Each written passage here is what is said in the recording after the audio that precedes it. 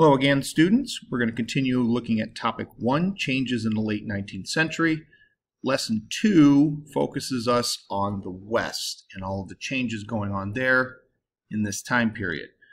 Two themes you want to look for with this.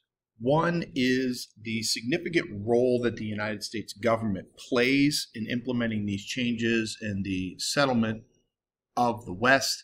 And the second thing is that a lot of these things are sort of movement towards corporatization of a lot of these industries as control of them and the resources starts to move into the hands of a wealthy few people or companies. Some of the first people in the West, besides those native to the area, will be miners. Uh, there will be a series of gold rushes in the late mid to late 19th century. Uh, most famous, the California gold rush of 1849, but also gold rushes in places like Nevada, Colorado, uh, Idaho, Montana, and even the Yukon up in Alaska. Some of the first groups of miners will be these prospectors, individuals uh, moving out to the frontier, trying to strike it rich uh, on gold, silver, or copper, uh, panning for these things in the rivers, and basically working at the surface level. Along with these, we'll see the rise of boom towns. These are towns that sort of spring up wherever there is a gold or silver strike, oftentimes to disappear almost overnight when those gold and silver strikes dry up. Some of them, though, will diversify into industries not based around mining and will remain uh, places like Boise, Idaho, and Denver, Colorado are examples of this. Uh, most of the people who went out prospecting do not make it rich. Uh, many of them go broke, uh, but the people who do oftentimes make a lot of money are those who go out west and provide goods and services to the miners, selling equipment and that sort of thing to them. Uh, one of the more famous examples of this would be Levi Strauss, the inventor of blue jeans, who made them for miners. Over the course of time, uh, more and more the mining is going to be taken over by big companies, usually by the 1870s. Uh, and that would be the men you see pictured here.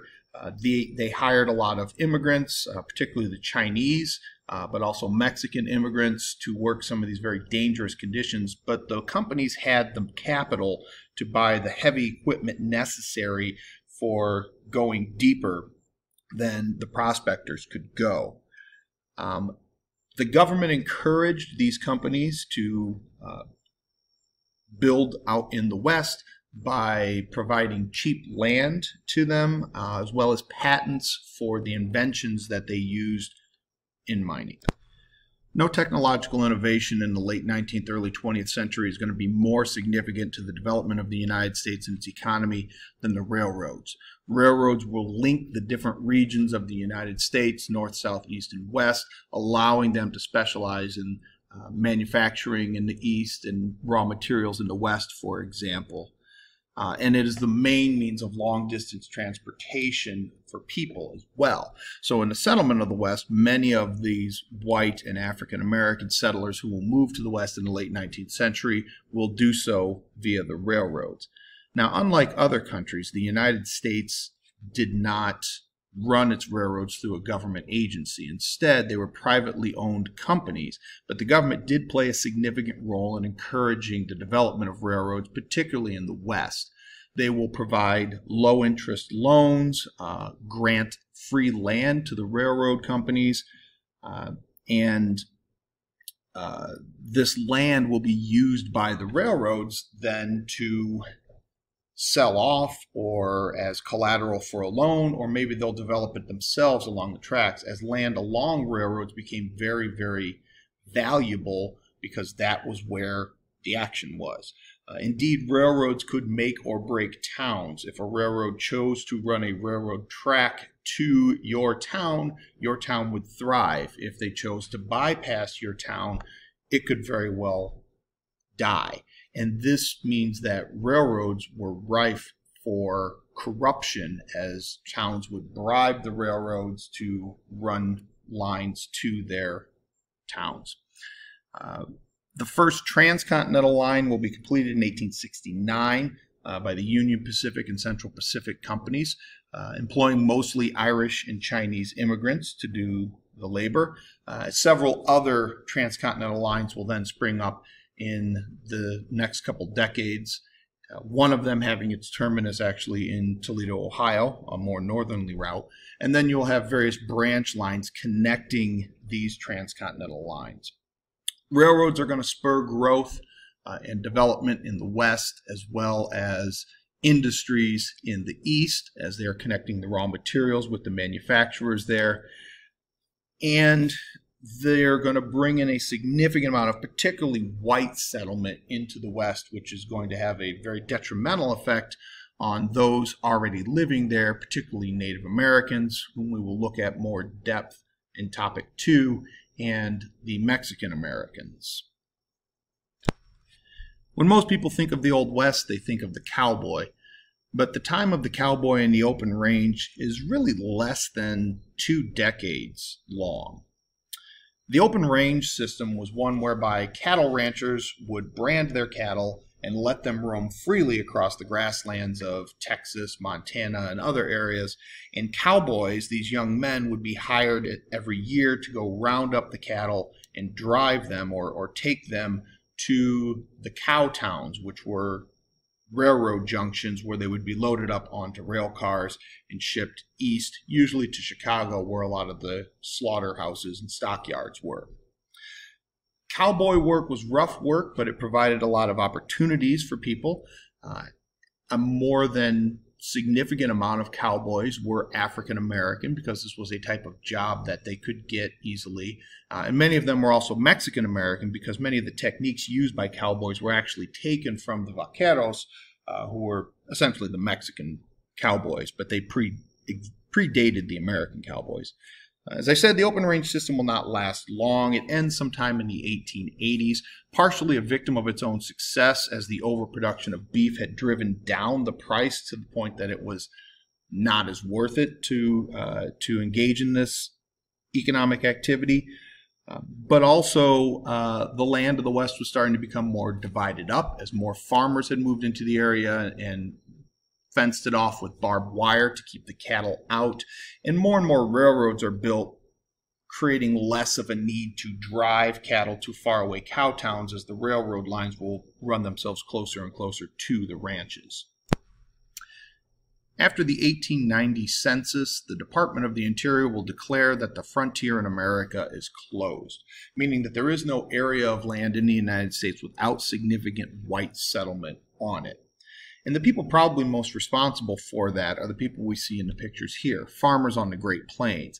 That's going to be the last region of the country to see that significant type of settlement that would count as settlement to the Department of the Interior. And the reason is this area is pretty rough for farming, particularly in the late 19th century. Uh, it's very arid and the soil is very difficult to get through. There's not a lot of trees for building material and so forth. Now, again, we will see the United States government playing a role in encouraging this settlement. The Homestead Act, passed during the Civil War, will give away 160 acres of land to anyone willing to live on it and make some sort of improvements to it, building a farm, road, and so forth. Uh, this provides a lot of opportunities for uh, poorer people and immigrants in particular, those who could afford to make it to the West, uh, usually via the railroad. Uh, and some companies encouraged immigration from like Scandinavia into areas of Minnesota, Wisconsin, and, and farther west. Uh, but also for African Americans newly uh, emancipated after the war. The exodusters settling in Kansas and Nebraska are an example of this. One of the other things that will make it possible to settle the West are several technological innovations. In this picture, you can see the steel plow, which was tough enough to dig through the deep sod, which is that top layer of soil and grass on the Great Plains, uh, which was not really doable with the old iron plows that had existed before. Uh, in addition to this, uh, there's the seed drill and the reaper making uh, farming much easier to do by turning a lot of the work over to machines, as well as barbed wire uh, cheap way of fencing off your land, and windmills, which would be used to bring water to the surface from the Ogallala Reserve uh, deep beneath the Great Plains region.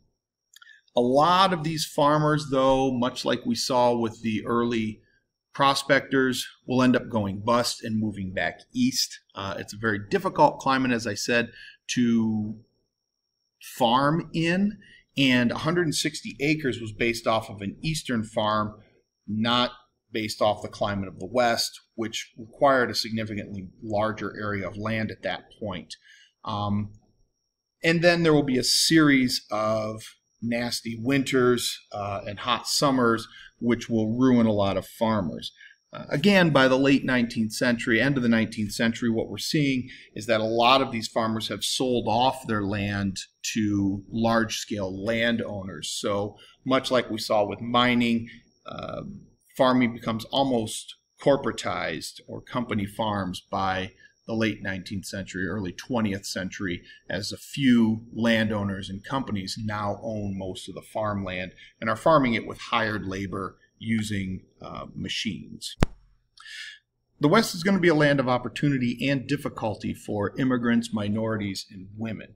Uh, women are immensely important in setting up the farms of the West uh, but also a lot of women entrepreneurs in cities like San Francisco and Seattle will set up services such as boarding houses, saloons, and brothels.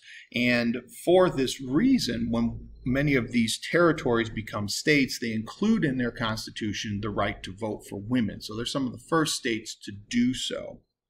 Um, African Americans, as mentioned before, uh, could take advantage of the Homestead Act to be able to set up farms or get hired in as cowboys or also as railroad workers.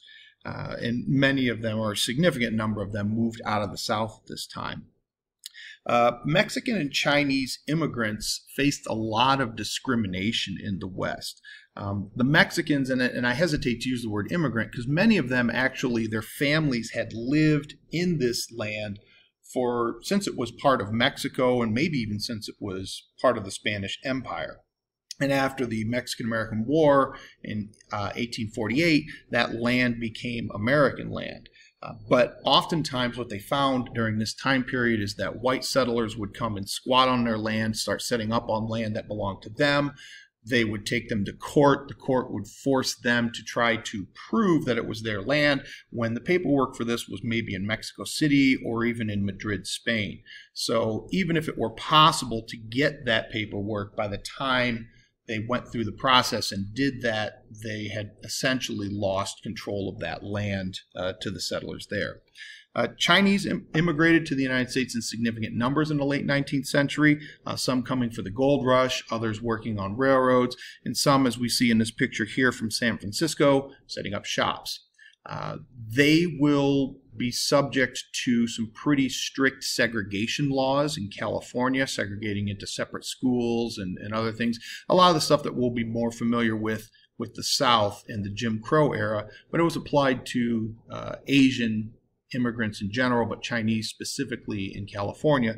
And the Chinese are subject to the first ever immigration law in the United States, which is the Chinese Exclusion Act, which banned all immigration from China. We'll see a lot of conflict over resources occurring in the West, particularly water. Um, all of the different groups in the West needed to use the water. Uh, mining used it for hydraulic mining, which would create a lot of pollution, which would run downstream and pollute the water used by ranchers and farmers. Ranchers and farmers fought with each other over access to the water for irrigating their fields, uh, and also over the land as the ranchers wanted to use it for cattle grazing, the farmers for raising fields. And you can see the barbed wire here, which was used to keep the cattle out of the land. Um, Mexican Americans and U.S. settlers fought over using salt, and of course, everyone was taking land from the Native Americans. Let's take a look at the graphic organizer for lesson two really quickly. Uh, it is a web. Uh, in each of the branches, there is a statement about the West. And what you need to do in the outside bubbles is to give me an example or evidence that backs up that statement. So